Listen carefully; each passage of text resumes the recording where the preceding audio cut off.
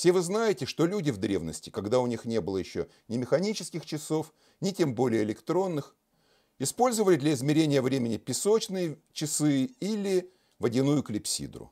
А сегодня мы рассмотрим еще одно такое устройство, которое представляет собой чашку, в которой сделано отверстие.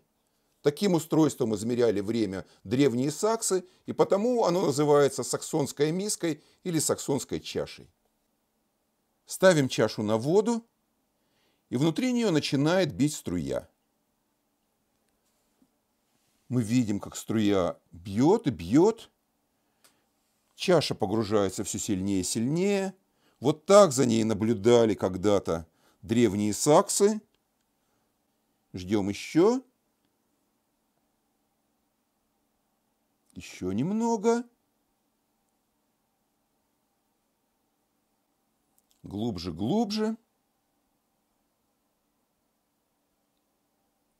Оп. И вот чаша затонула. И задачу о саксонской чаше было предложено в этом году исследовать участникам международного турнира юных физиков. Как и во всякой исследовательской задаче, в ней есть относительно простая часть и сложные продвижения. И мы с вами займемся этой простой частью, а все сложные вопросы оставим юным физикам, чтобы им тоже было чем заняться. Для эксперимента я сделал специальное устройство. Это цилиндрическая бутылочка с тонкими прозрачными стенками и отверстием внизу, которая прикреплена свинцовая шайба, чтобы бутылочка побыстрее тонула и была на плаву более устойчивой. Опускаю бутылку, вода пошла, и первое, что мы видим, это то, что разность уровней воды снаружи и внутри бутылки все время остается постоянной. И этот факт нам надо первым делом объяснить. Для простоты будем считать, что толщиной стенок чашки можно пренебречь. Пусть сама чашка имеет массу m, и в какой-то момент времени она погрузилась на глубину h1, а вода внутри чашки поднялась на высоту h2. Разность этих двух уровней мы обозначим как дельта h. У нас есть разность давлений на дно чаши снаружи и внутри, и эта разность давлений очевидно равна ρ, ж, дельта h. Эта разность создает поддерживающую силу, которую мы найдем, умножив разность давлений на площадь поперечного сечения чаши S. И эта сила поддерживает на плаву чашу весом mg. G слева и справа сокращается, и мы получаем, что разность уровней дельта H равна массе чаши m, поделенной на плотность воды ρ и на площадь поперечного сечения чаши S. Этот результат прекрасно согласуется с экспериментом. Ведь по ходу опыта масса, плотность и сечение остаются постоянными, и поэтому разность уровней тоже не меняется.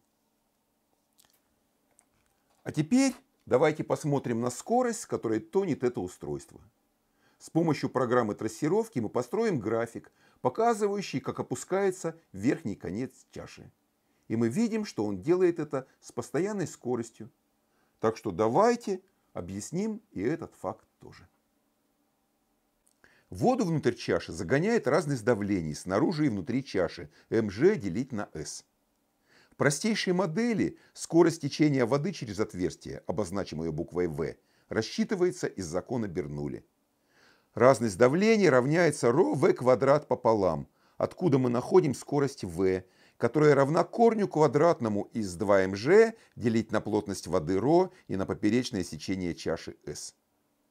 А чтобы найти скорость, с которой чаша тонет, а эта скорость, очевидно, равна скорости, с которой поднимается уровень воды внутри чаши, обозначу ее буквой U, надо скорость заливания воды v умножить на отношение двух площадей. Малой площади отверстия, обозначу ее сигма, и большой площади поперечного сечения чаши S. И поскольку все величины, которые входят в эту формулу, являются постоянными, скорость затопления тоже будет постоянной величиной, как и показывал наш опыт.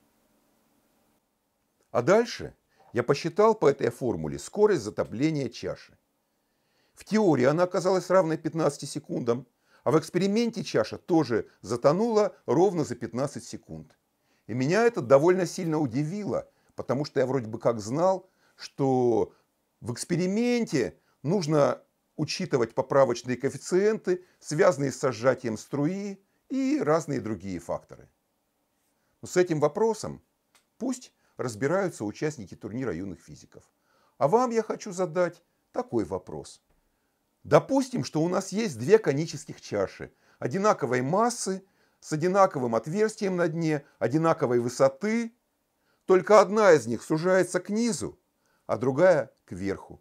И спрашивается, какая из этих двух чаш быстрее потонет. Ваши соображения на этот счет пишите в комментариях к этому ролику на YouTube.